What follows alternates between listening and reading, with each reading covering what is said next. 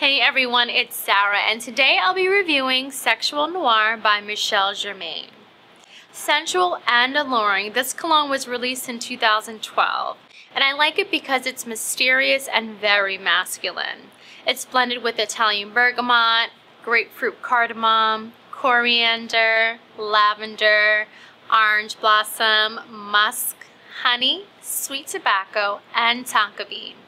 I highly recommend this to seductive men to wear as your signature evening scent. Alright everyone, that's all for today. And remember, if you want to see more reviews on your favorite products, subscribe to our YouTube channel and join in on the conversation on Twitter, Facebook, and Instagram.